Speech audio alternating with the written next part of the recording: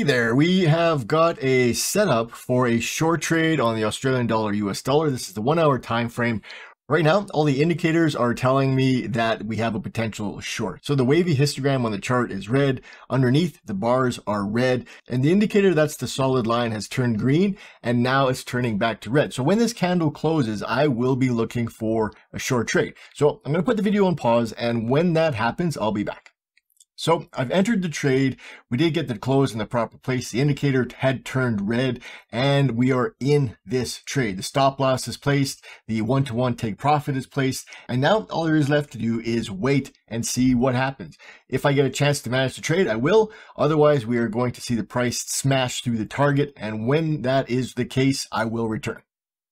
That was a very nice trade. The price didn't have any trouble. It went straight to the take profit. And on this trade, we ended up with a nice $322 win. This was a very simple, very straightforward, very clear and easy to understand trade using the Magnacon trading system.